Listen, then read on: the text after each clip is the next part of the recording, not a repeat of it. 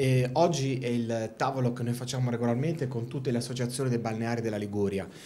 per fare il punto della situazione anche alla luce delle linee guida che il governo ha eh, comunicato alle regioni sulle quali il governo si vorrebbe basare per fare, io direi anche finalmente, una legge nazionale sulla questione Bolkestein e sulla questione del demanio marittimo. Queste linee non sono ancora state consegnate in maniera, in maniera concreta, materiale. Noi come eh, assessori regionali al demanio io l'Emilia Romagna e la, eh, l'Abruzzo, che siamo un po' i capofila che gestiamo il rapporto con il governo nazionale, le abbiamo avute diciamo informalmente a livello eh, teorico dal, dal, ministro Costa e adesso dovranno essere consegnate invece formalmente cartacee. Sono delle linee guida che cominciano a delineare una situazione che quantomeno il governo vuole prendere in mano su una legge necessaria come quella della, delle spiagge e della Bolkestein. Noi però rimaniamo molto molto fermi sulla nostra posizione.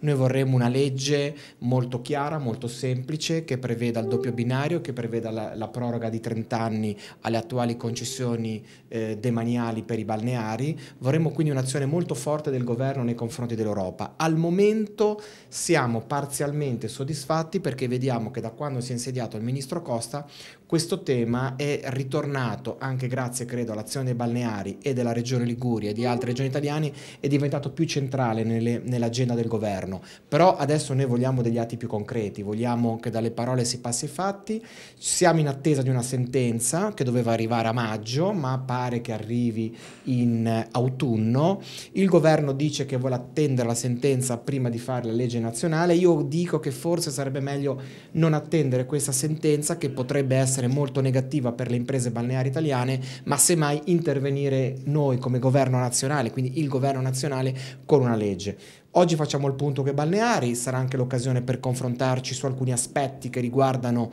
alcune leggi regionali che noi abbiamo modificato per rendere più eh, facile il lavoro delle nostre imprese sul territorio, sul demanio marittimo e quindi per lavorare meglio all'inizio della stagione, ma soprattutto l'oggetto sarà la Bolkestein e noi rimaniamo su questa posizione e attendiamo il confronto col governo. Doveva esserci già mercoledì prossimo una riunione, pochi minuti fa ho appreso che è stata rinviata per impegni del ministro, attendiamo Chiediamo quindi questa convocazione perché riteniamo che il tema sia assolutamente di primaria importanza. Perché al momento sul discorso proroga c'è molta incertezza da parte del governo. Loro capiscono e condividono con noi che eh, invece siamo molto più netti perché noi parliamo di una proroga di 30 anni, loro capiscono che c'è necessità di un tempo intermedio, chiamiamolo, eh, però su questo sono poco ancora chiari. Noi eh, vogliamo e chiediamo al governo più chiarezza, ma se, secondo la nostra posizione è molto semplice dire 30 anni come hanno fatto anche altri paesi europei, mi riferisco alla Spagna, mi riferisco al Portogallo, quindi andare anche nell'ottica